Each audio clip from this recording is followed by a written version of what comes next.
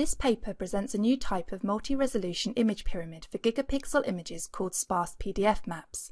These pyramids enable accurate computation of nonlinear image operations directly in any pyramid level with proper pre-filtering for anti-aliasing. We illustrate the versatility of our data structure on a variety of nonlinear operators, starting with local Laplacian filters computed in linear time.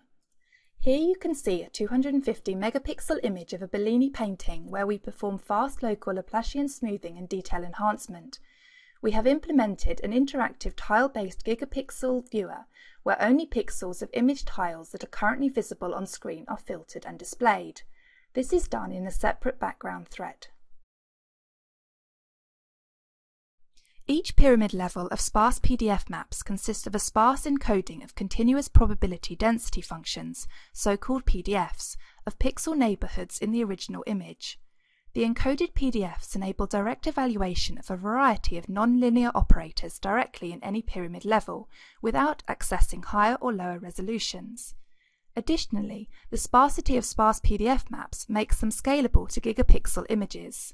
The evaluation of local Laplacian filters becomes scalable by computing each Laplacian pyramid coefficient directly from the information encoded in the sparse PDF map.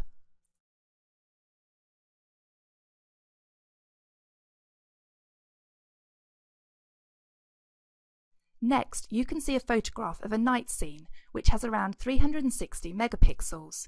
We start by showing the original image and subsequently switch to local Laplacian smoothing and local Laplacian detail enhancement. Note that all our video sequences are direct screen captures of a user interacting with our gigapixel viewer. All filtering operations are performed on the fly at runtime and can be evaluated interactively with arbitrary parameter settings. The only pre-computation that is required is the computation of our sparse data structure, the sparse PDF map of the original image. We store the coefficients of sparse PDF maps in a manner similar to standard image pyramids to facilitate efficient parallel implementation on the GPU.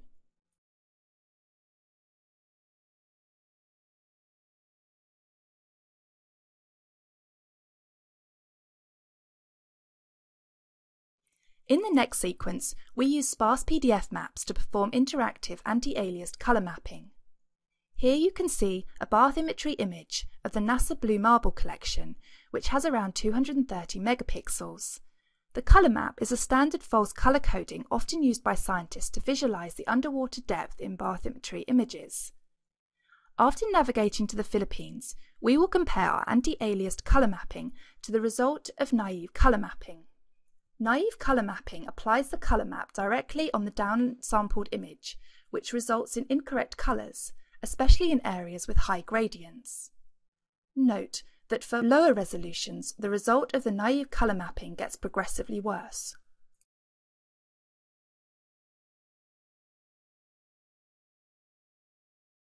The next sequence illustrates the application of bilateral filtering using the sparse PDF map representation. We use the Barbara image and start with displaying the original image before applying the bilateral filter. The bilateral filter then performs edge-aware smoothing that keeps the fine edges in the image intact while smoothing homogeneous areas. The final nonlinear image operations we want to illustrate are smooth local histogram filters such as median or mode filters. We first illustrate median filtering on a salt and pepper noise image, Using a 3x3 median filter in pyramid level 1, we are able to completely remove the salt and pepper noise. Our last example shows median filtering on the 250 megapixel Bellini image. Notice the fine cracks in the original image of the painting. Using a median filter with a neighbourhood size of 7 removes these cracks while keeping the visual appearance of the image intact.